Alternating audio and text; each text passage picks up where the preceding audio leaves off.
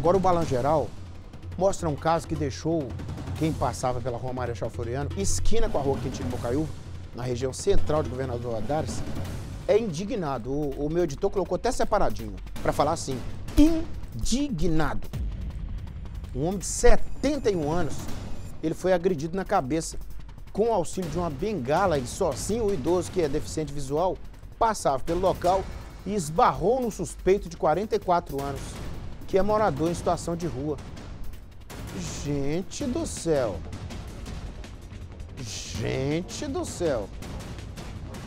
Que dia que a NASA vem, que o senhor falou, diretor? Diz que a NASA tá vindo? Que dia que a NASA vem? Cê... Ah, que que é isso, gente? Aí não tem outra palavra, não. É isso mesmo que tá na frase. É covardia mesmo.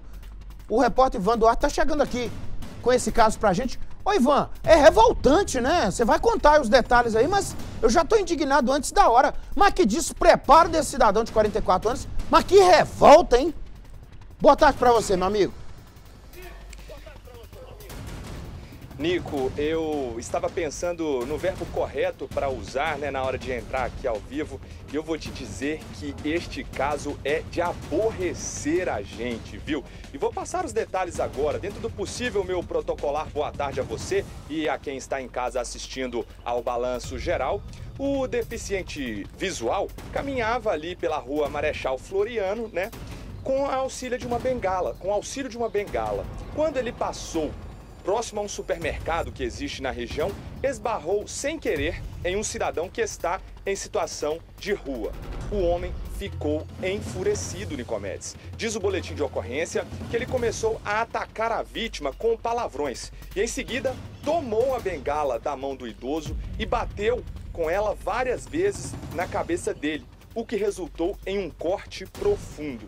As pessoas que estavam no endereço e presenciaram a cena começaram imediatamente a hostilizar este suspeito de 44 anos e se a polícia militar não intervém rápido, ele poderia até ter sido linchado no local. O que, que aconteceu com ele, Nicomedes? Este homem foi encaminhado para a Delegacia Regional de Polícia Civil aqui de Governador Valadares e durante uma busca, os militares encontraram com ele uma bucha de substância semelhante à maconha e também 15 reais. Este é um caso assim que deixa a gente entristecido com tamanha crueldade, capacidade de crueldade do ser humano, né, Nicomedes? Ainda mais contra uma pessoa que tinha deficiência visual, não viu o cidadão ali na rua e acabou dessa maneira.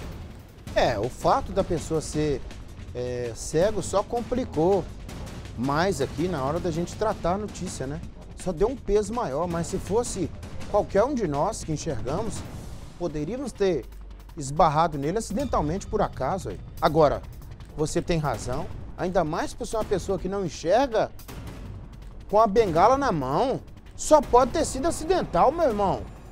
A bengala não tem sensor, não. Já basta que nas cidades custa ter plano tátil. Custa ter no calçamento o lugar onde o, o deficiente visual tem que andar. São poucas as calçadas que tem isso. E mesmo assim, a gente ainda anda no lugar que é para o cego passar. Aí a pessoa passa, esbarra, o outro agride. É muita revolta. Eu não sei não, esse ser humaninho. Eu falei ontem aqui, não retiro o que eu falei não.